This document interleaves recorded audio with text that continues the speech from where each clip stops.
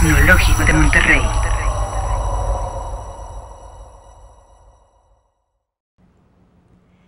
Hola, ¿qué tal? Bienvenidos a esta temática tan importante y tan interesante cuando trabajamos con investigación educativa, la presentación de la metodología y de los resultados. ¿Dónde podemos nosotros llegar a exponer estos dos elementos? Los podemos presentar, por supuesto, en una investigación de una tesis, de licenciatura, de maestría, de doctorado, en un artículo para una revista, en una ponencia para un congreso, estos dos elementos, la metodología y los resultados, son sumamente relevantes para ser cuidados por parte del autor. Por ello, vamos a entrar a hablar de cada uno de estos elementos. La metodología. ¿Qué es lo que no debemos olvidar colocar en los datos de la metodología? Por una parte, es el método que utilizamos en la investigación que realizamos. Y ese método lo podemos redactar en dos elementos. Por un lado, hablando primero con la voz de un experto teórico y de preferencia de un libro que lleve el nombre de esa metodología en específico, y luego decir cómo esa metodología la utilizamos en este estudio que realizamos, en esta investigación. Entonces, es entrar a hablar del método concreto que se utilizó en el estudio, hablando con la voz del teórico experto, con una referencia que lleve el nombre de esa metodología, no de investigación general de la investigación educativa, es muy recomendable que sea su escrito con el nombre de la metodología en específico y luego decir cómo nosotros lo llevamos a cabo dentro del estudio que, que desarrollamos.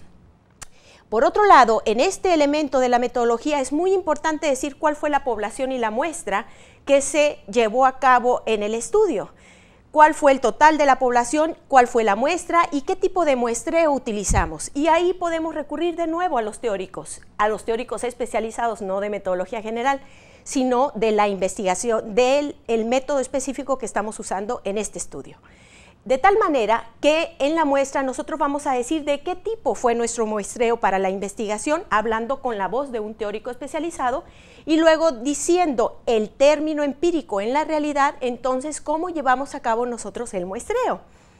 Otro de los elementos relevantes en este apartado, por supuesto, es hablar del tema, las categorías, los indicadores, si es una investigación cualitativa, o de las variables, constructos, que conformaban nuestra investigación, si estamos hablando ya en términos más cuantitativos.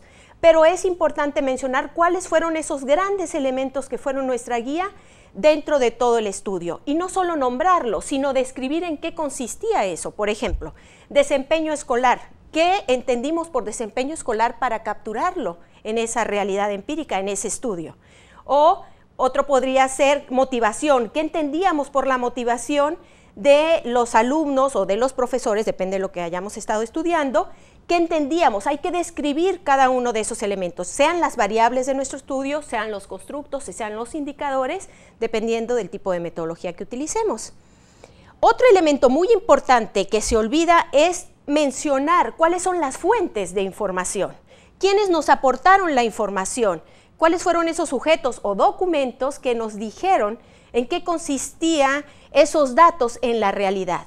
Y aquí podríamos estar hablando de directores, facilitadores en un ambiente, por ejemplo, de formación en una empresa, eh, alumnos participantes en una experiencia o documentos significativos como puede ser la planeación del profesor, como puede ser eh, determinados recursos que utilizaron de una plataforma o como puede ser el análisis de diferentes plataformas. Los documentos significativos también son fuentes de información.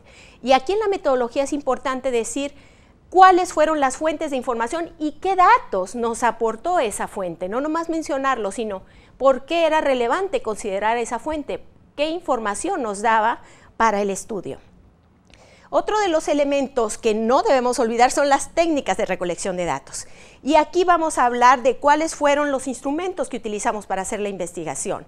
Si era una lista de observación, si fue una entrevista, si fue una encuesta, cuáles fueron esos instrumentos que utilizamos, diciendo cuál era el objetivo de esos instrumentos y cuáles eran los elementos que indagaba esos instrumentos. En los casos de las tesis suele ponerse en anexo esos instrumentos. En los casos de las publicaciones, de las ponencias y de las revistas, pocas veces nos dan eh, la extensión, sobre todo, que nos solicitan en los artículos, en las ponencias, la posibilidad de ponerlo en anexo. Ahora bien, también sería importante decir en la metodología la prueba piloto que hicimos de esos instrumentos para ver si estaban funcionando antes de irnos a aplicarlos a gran escala.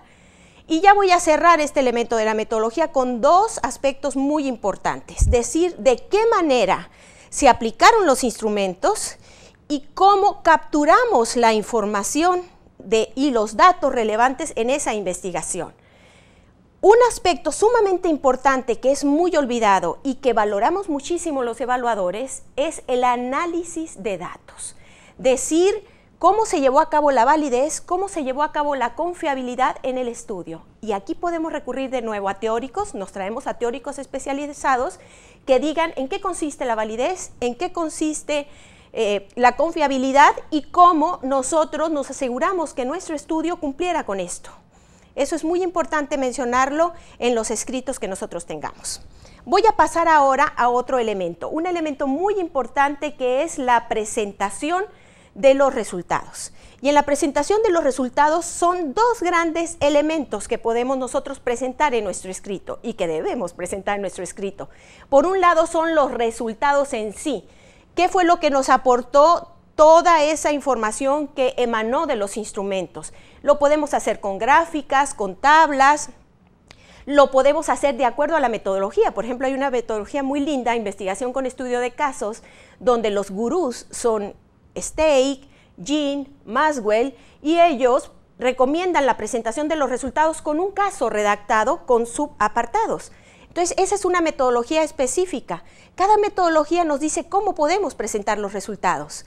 Y es ahí donde es recomendable poner la información para el lector. Siempre debemos estar pensando en el lector y proporcionar cuáles fueron los resultados más relevantes de este estudio. Luego viene el análisis y la interpretación de los resultados. Y en este análisis e interpretación es donde está el punto más débil de las presentaciones, de los estudios. Porque en la presentación del análisis, como que volvemos a presentar los resultados y el análisis es otra cosa. El análisis es contrastar esos resultados que salieron de la investigación con respecto a la teoría que nosotros en la que sustentamos el estudio y darle un significado de qué significa entonces eso que salió en el estudio. De tal manera que en lo personal recomiendo cuatro elementos en cada párrafo que se presente del análisis de los datos. El primero de ellos es el hallazgo. ¿Cuál es el hallazgo que salió del estudio? Estoy hablando de párrafos, de párrafos así como visualicémonos en partes. El primero, ¿cuál es el, el primer aporte? El primer aporte que se nos viene a la mente que provocó ese estudio, esa investigación ese primer elemento, el hallazgo, deben ser palabras del investigador. Aquí no hay que traer a los teóricos ni que traernos a los resultados. Aquí es el hallazgo. Y ojo con esto, no vincularlo directamente con la experiencia que acabamos de pasar.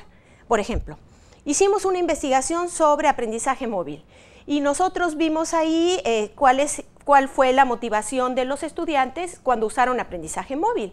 Y entonces el primer elemento, cuando yo encontré, vi todos los resultados que me arrojó el haber aplicado paneles con los estudiantes, observaciones, análisis de sus documentos, de sus tareas, análisis de esos recursos, lo primero que encontré, por ejemplo, como un hallazgo y donde no voy a vincularlo directamente con la investigación es el aprendizaje móvil proporciona motivación a los participantes cuando es diseñado con un ambiente motivador gráfico y de situaciones de contexto. Punto. El hallazgo fue ese. No estoy diciendo, en el estudio que realizamos se encontró que los alumnos se sintieron más motivados cuando usaron recursos que estaban en el contexto de la empresa, por ejemplo.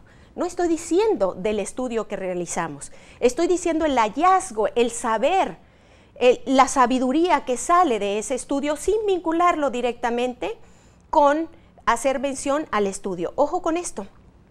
Ahí, punto y seguido. El primer elemento entonces es el hallazgo, el saber y en palabras del autor sin vincularlo con el estudio directamente. Punto y seguido, el dato empírico. Esto se encontró en el dato empírico, vamos a poner cuáles fueron los resultados que respaldan esto que yo estoy diciendo. Y ahí sí que nos vamos a traer al estudio que nosotros realizamos. En este, siguiendo la oración que decía de los recursos y su motivación, si ese fue el hallazgo, punto y seguido. Esto se vio reflejado como se puede ver en la gráfica 4 y en la gráfica 7 de los resultados, cuando los alumnos manifestaron un mayor interés cuando estos se llevaban a cabo dentro de industrias, empresas, etc. Entonces, ahí tenemos el dato empírico, ahí sí que nos traemos y hacemos relación con los resultados, con el apartado anterior. Punto y seguido.